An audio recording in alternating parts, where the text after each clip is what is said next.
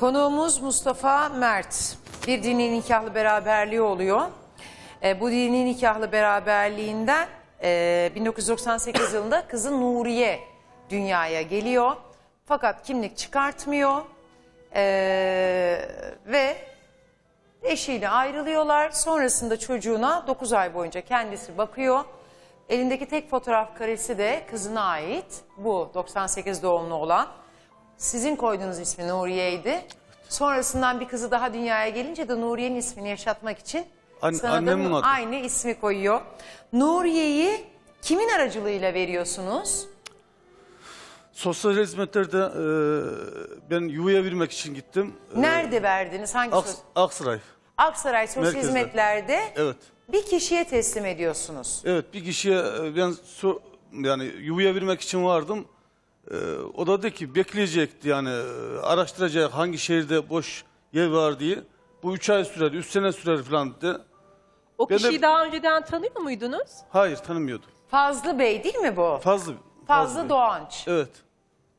Fazlı Doğanç şu anda da Mersin Sosyal Hizmetler'de müdür olarak Müdür. görev yapıyor. Sizin erkek kardeşiniz eee Fazlı Doğanç'a Tes- eee, çocuğu teslim ediyor. çocuğu Ve teslim ediyor. ben kendim yani veremem çocuğumu dedim sen verdin. Neden vermek istedin Mustafa abi çocuğunu? Bir annem vardı ha- yatalak hastası. İkisi çocuğuyla beraber kalıyorduk. Yani ayrıldık artık o saatten sonra annesinin gelmesi yok. Evleneyim dedim. Ben mm, varmadan benim haberim varıyordu işte. Yatalak annesi var bir tane altına işleyen çocuğu var diye alan olmadı. Son çarede ben yuvaya vereyim dedim. Yuvada öyle bir e, bu arkadaş da yani boş yer olmayınca evlatlık verelim diye istersen de ben düşüneyim dedim. 15 gün falan bir çare aradım. Bulamayınca mecburen kabul etmek zorunda kaldım.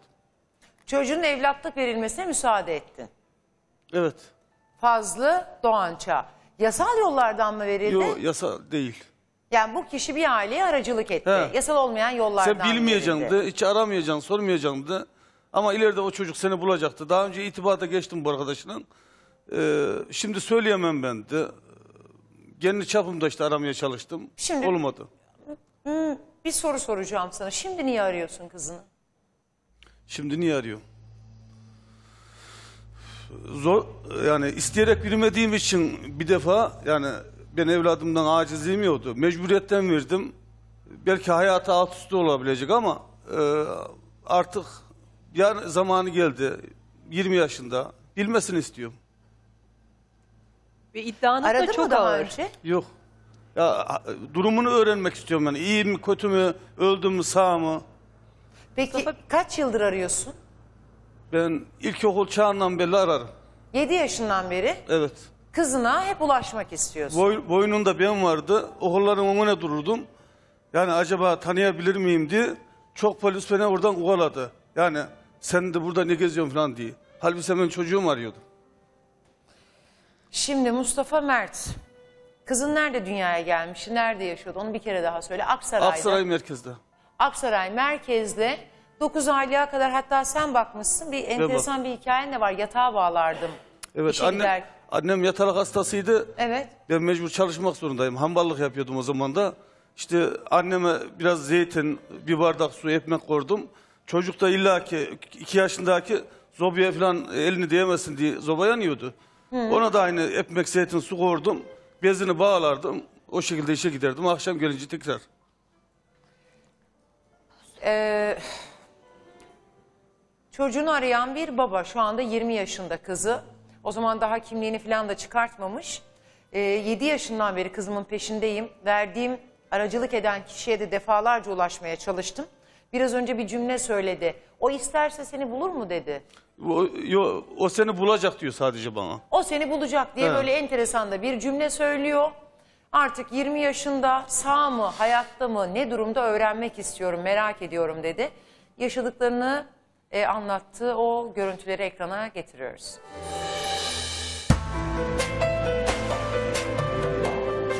Kızıma. Onu çok seviyorum.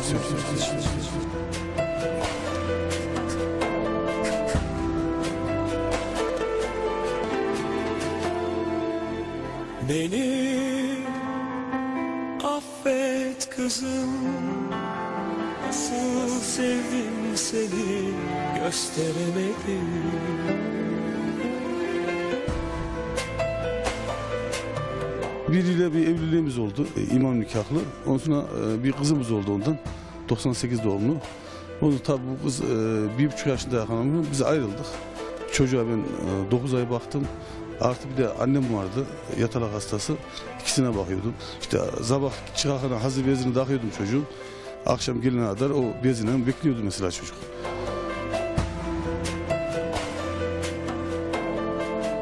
Annem yatalak hastasıydı. Eskiden böyle e, demir somyalar olurdu. Onun üstünde yatardı. Çocuk da e, küçük olduğu için e, ya yazın ya dışarı ya kışın zobya elin diğerdi. Ben bilinden ipinden somyanın ayağına bağlardım. Onun işte bir bardak su, zeytin, ekmek bunlarla akşam giderlerdi. Aynı şekilde anneme de yapardım. Annem de e, rahatsızlığı ilerleyince annem de ya anasını getireceksin ya evleneceksin ya da bu çocuğu yuvaya vereceksin diye. Fazlı Doğanç aracılık yapan kişi evlatlık vermeye karar verdik. Çocuğu işte almaya gelecekler saat 11'de gündüz. E, Ben yani anneme ben durursam çocuğu veremem yani dayanamam. Ben işe gidiyorum. Çocuğu alıp gidiyorlar saat 11'de. Akşam işten geliyorum. E, Oturduğumuz yer zaten böyleydi. İşte penceresi içeriden görünüyordu. Mesela ben her geldiğimde pencereden bakardım. Annemle çocuk olurdu. Baktım annem yalnız. İçeri hiç girmedim. Tam 3 saat kapının önünde ağladım.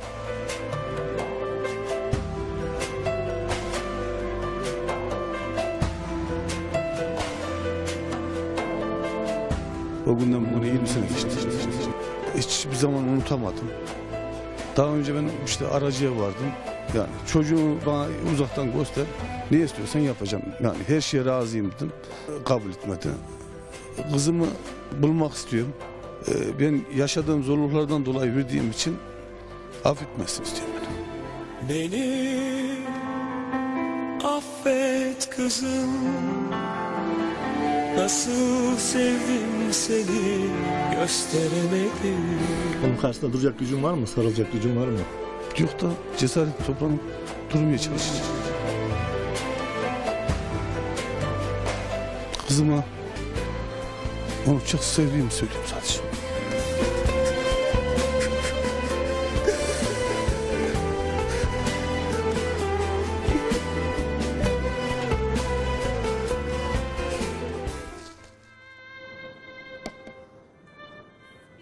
Sadece şu an ablamı bulmak. Yani o zaman babamın durumu yokmuş. O imkansızlık içinde yaşamış. Şu an bizim olduğumuz imkanda onun da olmasını istiyorum. Ben onu ablam olarak görüyorum. Hep ablam olsun istedim. Onun da bir kardeşi olduğunu bilmesini istiyorum. Buradan da yani ablama çok sevdiğimi söylemek istiyorum. Bu arada ben bir şey söylemek istiyorum. Para hiçbir şeye çare değil. Ben yokluk içinde verdim ama sonradan hırslandım. Yani benim param olsaydı o çocuğuma bakıcı tutardım veya kreşe bırakırdım. Bir şekilde veremezdim. Ama çok çalışacağım dedim. Yani bir illere geleceğim çocuğumu parayla geri alacağım dedim alamadım. Şimdi böyle de bir hikaye var. Ee, sen Nuriye'yi verdiğinde yani en çaresizlik ve en gariban zamanındasın. Bir de çevremde kimse olmuyor yani. Böyle bir düştüğün zaman eş dostlarım var ama hiç kimse yoktu. Çocuğunu verince tam tersi hırslanıyor. Mustafa abi çok çalışıyor. Allah'a hamdolsun şu anda da çok daha varlıklı bir adam. Hani para kazanacağım çocuğumu para verip verildiği yerden alacağım demiş. Parasızlığın yani şeyine çocuğumuza sahip çıkamadık. Ben de çok çalışıp para olacağım. Çocuğumun karşısına güçlü bir şekilde çıkmak istiyorum. Şu anda param var çocuğunu bulabiliyor musun? Bulamıyorum. Ben o aracıya da dedim. Benim iki kızım var, bir hanımım var dedim. Onun harici her şeyim senin olsun çocuğumu bana bir kere gösterdi. Olmadı. Çok enteresan. yapıyorsunuz. Bir vicdan arınması içindesiniz ve biraz da bencilce düşünüyorsunuz gibime geliyor. Çocuk sizin çocuğunuz olduğunu belki bilmiyor. Yüksek ihtimal bilmiyor. Bilmiyordur illa. Ve farz edin Kimlik mut- çıkmamış. mutlu bir yuvada, mutlu bir ailede ve şu an 20 yaşında. Ama bir de kötü de Şimdi olabilir. 20 yaşındaki bir çocuğun rutin düzenini bozmak size ne kazandırır ya da ne kaybı? Yani onun hesabını yaptınız mı? Yaptım. Aksini de düşündüm. Hangisi Kötü- ağır bastı? Kö- kötü bir durumda da olabilirdim. Kötü bir durumda olur düşüncesi bastı. İyi durumda olduğunu düşünelim. Biz ablamı zaten şu an sadece görmek, onun iyi, İyi olduğunu durumda bilmek da istiyoruz. olsa da her türlü desteğe hazırlık. Ben, ailem, kızım. Peki çocuğun psikolojik yapısını neler yapabileceğini bu saatten sonra o ikilemin çocuğa neler kaybettirebileceğini hiç düşündünüz mü? Onun hesaplaşmasını yaptınız mı kendi içinizde? Valla e, yokluğu daha ağır Ya da basıyor. yaptıysanız bu hesaplaşmayı hangisi ağır bastı? Yokluğu daha ağır basıyor diyor. Onun Çünkü için ben buradayım diyor. 18 senedir Esra acı Hanım. çekiyorum. 18 senedir. İst- acı çekiyorum. İsteyerek vermedim yani ben çocuğu. Esra Yani Hanım. Peki verdirmek zorunda bıraktılar ya. Çaresiz bıraktılar. Ailenizde başka bakabilecek kimse yok muydu? Var, vardı bakmadılar. bakmadım. bakmadılar mı? Ee, Onlarla görüşüyor musunuz şu anda? Yok kimseyle görüşmüyor. Esra Hanım. Hepsine de mi sırtınızı döndünüz? Döndüm. Yani şimdi çaresizlik var, tek başınasın. Anne de engelliymiş sanırım. Evet. Yok annem hastaydı. Hayır hayır, Evet. eşiniz yani o dini nikahlı Engelli, eşiniz. engelliydi. Ee, zihinsel engeli mi? Fiziksel engeli vardı. Duymaz, konuşamazdı ama o ayrılmamızın sebebi o değildi. Ben e, analığımın bacısını aldım. Babamla bacanak oldum. Ama zaten onların geçimi yoktu. Bize de bir yanlış evlilik yaptırdılar. Aramızda durmadılar. Yani bozulsun diye uğraştılar. Ben de Ayrılmak zorunda kalınca çocuğu niye anneye vermediniz? verdim, kabul etmediler. Biz senin Esra Hanım. Çok özür dilerim. Son Biz- konuşuyorum. Yorum Buyurun dinliyorum sizi. Bana biz senin çocuğuna bakamazdık dediler. Efendim? Götürdü, götürdüler tekrar başkasıyla çocuğu geri baktırmadılar. Ya anne bakmak istemedi ya ba- etrafındakiler bakmak istemedi. Peki biyolojik anne hayatta mı? Yani o ilk eşiniz o dini nikah. Hayatta on- 19 yaşında oğlum var o da yanında. O oğlan da üzerinde gittiydi. Oğlanla görüş yok. Oğlan ha iki çocuğum vardı. İki çocuğum var. Bir erkek bir kız. Evet o oğlan üzerinde yanına gittiydi. aldı. Kızı da sana Yo, bıraktılar. oğlan annesinin üzerinde gitti. Hamileydi ona. Hamile. Ha hamileydi. Ona baktılar ama kızı sana bıraktılar. Evet. Sen de kıza bakamayacağın için bu Fazlı Doğanç'a verdin. Fazlı Doğanç da o zaman Aksaray'da sosyal hizmetlerde Memurdu. Çocuk Esirgeme Kurumu'nda memurdu. Ee, sen birebir Ben- o Fazlı ile tanışıyor musun? Yo tanışmıyordum ben. eee, yani yuva nereden verilir, nerede olur bilmezdim ben. İşte sordum eşten dosttan. Sosyal hizmetlere varacağım dediler. Tamam. Üç dört kere vardım. Orada görevli arkadaş beni içeri almadı. Tabii ki üstümüz var. uğraştım. Bir fırsat buldum. Bunun direkt karşıda bunun odası varmış. Oraya girdim. İşte şura bura derken ben yuvaya vereceğim dedim çocuğumu dedim. Böyle böyle durum vardım. O da Ama bir size ara- sormadılar mı? Bu çocuk kimin? Siz o çocuğu dışarıdan da bulmuş olabilirsiniz. Sizin olduğunuzu ispat edemiyorsunuz çünkü bir kimlik yok. sormadı. Ha, Kimlik- Şey merak ediyorum o odaya girdin ben bu çocuğu vereceğim dedin. Böyle böyle durum vardı. Ben çocuğumu yuvaya vermek istiyorum dedim. Tamam. O da dedi ki e, biz araştıralım dedi. Şu an yuvada boş yer yok dedi. Bir Bursa'da falan herhalde vardı dedi. Orayı bir araştırayım dedi. Tamam. Ondan sonra tekrar yine vardım ertesi gün mü iki üç gün sonra Sen ama. o gün çocuğu aldın çıktın oradan. Evet. Çocuğu bıraktın. Çocuğu vermedim. Tamam. Ondan sonra e, tekrar vardım. Yuvada boş yer yok dedi. Bana verirsen de evlatlık verelim dedi. Ben de bir düşüneyim dedim. Yani vermek istemiyorum.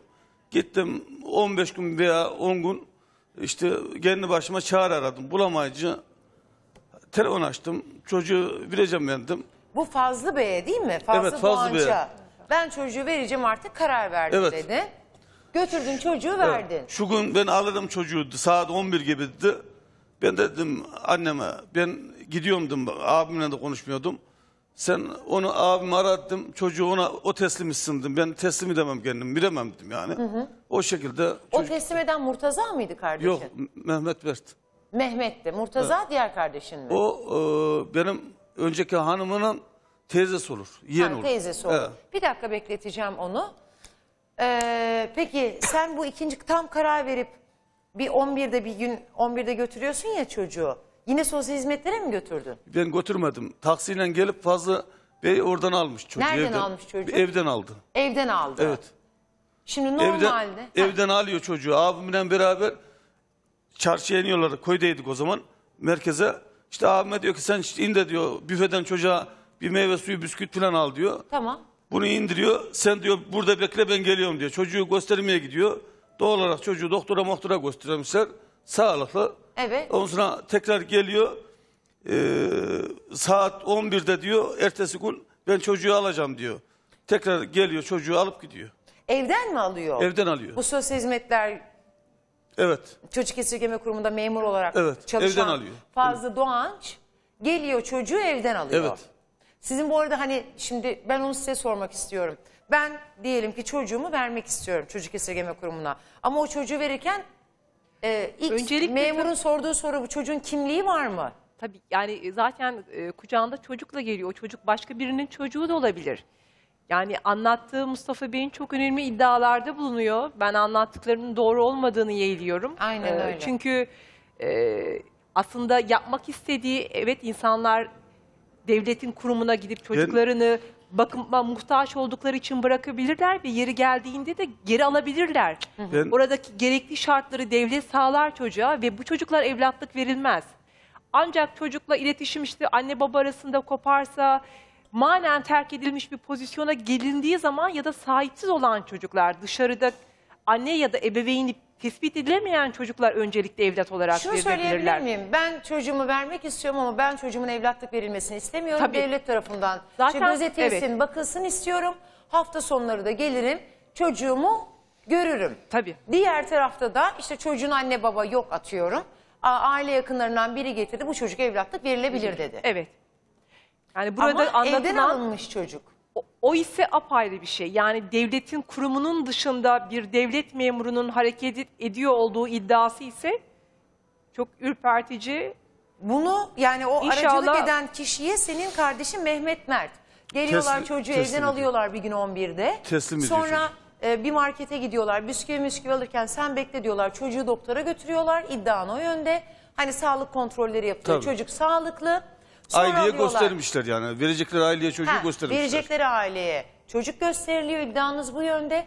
Sonra çocuğu tekrar kardeşine teslim ediyor. Teslim ediyor. Yarın 11'de ben çocuğu evden alacağım diyor. Buluntu Siz çocuklar evde miydiniz o sırada? Yo işe gittiydim ben. Biremem diye yani çocuğu. Veremezsin diye. Evet. Ama senin erkek kardeşin Mehmet Mert de yeni O geliyor ev, evde duruyor. Evet. Yani anneme dedim çocuğu teslim etsin. Ben çocuğu teslim edemem dedim yani. O zaman Aksaray'da bir aileye verildi. Yani çok uzakta bir aileye. Ben de öyle tahmin ediyorum da bilmiyorum Tabii artık. çocuk şimdi yasal şartlarda verildiyse Esra Hanım bizim şeyimize T- Türk Medeni Kanunu'na göre mahkeme kararı olmadıkça çocuk istemedikçe kişisel verilerine ulaşılmaz. Evet. Yani e, eğer siz gittiğinizde bu kişi aracı olan kişinin kapısını çaldığınızda dediği şey evet doğru. Ama sizin anlattığınız hikayeyle örtüşmüyor. Evet, evet çocuk e, dışarıda terk bir çocuk olarak mı kaydedildi? Ama ona rağmen çocuğun bütün dışarıda, karakolda, dışarıda bulunan çocuklara ilişkin zabıtlar da evraklarında bulunur. Herkesin bir kaydı vardır Ben bu e, anlamda. geçen sene sosyal hizmetlere dilekçe yazdım. Evet. Yani çocuğum burada Evet. kayıtlı verildi mi verilmedi mi diye 15 gün sonra böyle bir kayıtlı çocuk Yok yani. bulunamadı. Yani Aksaray'da 1998 yılında Evet. Nuriye Mert olarak çocuğunu teslim ettin oraya. Nuriye'ydi adı. Mert Yani bir özlük dosyası olacak ya. Yani sen Nuriye diyordun kimlik çıkartmamıştın ama hani 98 doğumlu 2000'de teslim ettim ben çocuğu. 2000'de evlatlık verdim. 2000 yani 2 yaşındayken Evet. teslim ettin. Şimdi e, Mustafa abi sen e, 3-4 yıl önce de bu Fazlı Doğanç'a gidiyorsun Mersin'de çocuk esirgeme 2-3 kurumunda. arkadaş gittik yanına. Evet gittiniz Mersin'e. Ben dedim yani çocuğum bana uzaktan göster diye. Hatırladı mı sizi? Hatırladı canım. Ben söyleyemem yerini diyor. O seni bulacak diyor. Ne demek seni bulacak? Yani seni çocuğun bulmak isterse bulur ne demek? Yani o ileride seni bulacak diyor. Sadece bunu diyor bana. Sen diyor arama onu diyor. Arama onu.